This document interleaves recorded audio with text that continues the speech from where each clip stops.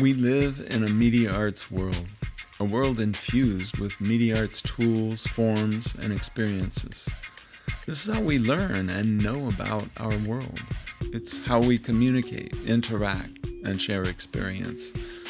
Media arts is at the center of our global digital society. These are our new literacies, and all students should be proficient in them so they are prepared for the society and for the future.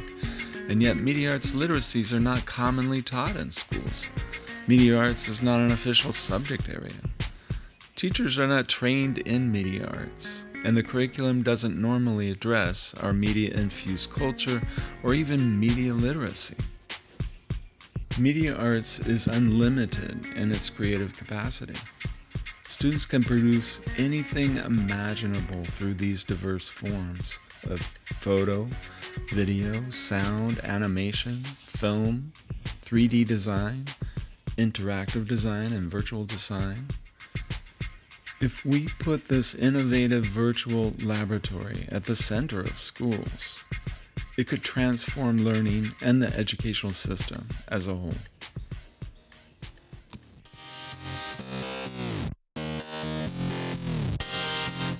Instead of passively receiving information from teachers day after day, which is the standard practice, students could be engaged in, in, exciting projects that they could direct themselves about issues that are relevant to them.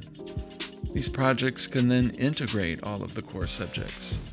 This way, the core academics, such as math and language, are actually applied in real world situations that mean something to the students which would give it context and connection and would deepen the learning.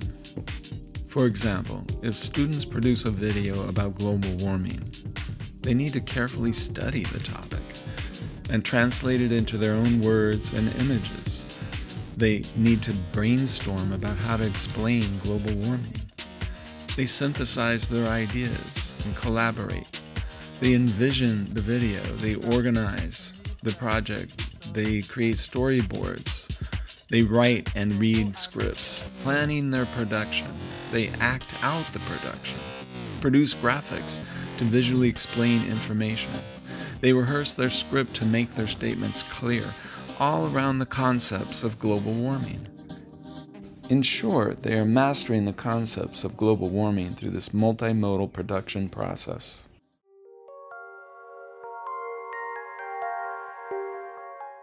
Media arts production is a multimodal cognitive process. This process causes students to view the content through a new multimedia lens, incorporating all of the senses. They're translating their ideas through multimedia. They're also mastering teaching others through multimedia. Thus, they're actually mastering the learning process itself. These students are learning to learn, which is the ultimate outcome for schools. Therefore, if the Media Arts Virtual Laboratory is at the center of the school system, the entire system becomes focused on and redesigned around this more effective and enriched learning process.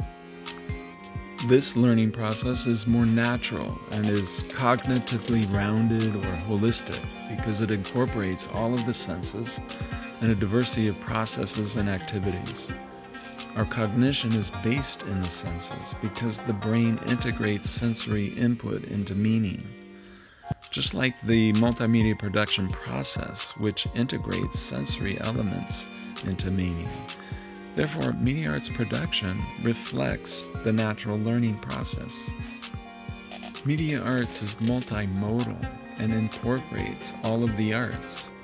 The arts are fundamental to developing robust sensory and neural networks.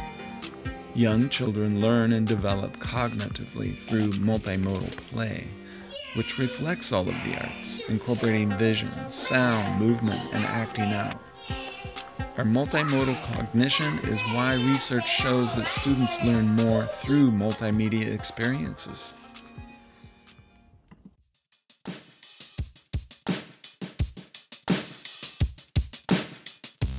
Furthermore, with these creatively unlimited media arts tools and transdisciplinary projects, students can begin to solve the problems of our world.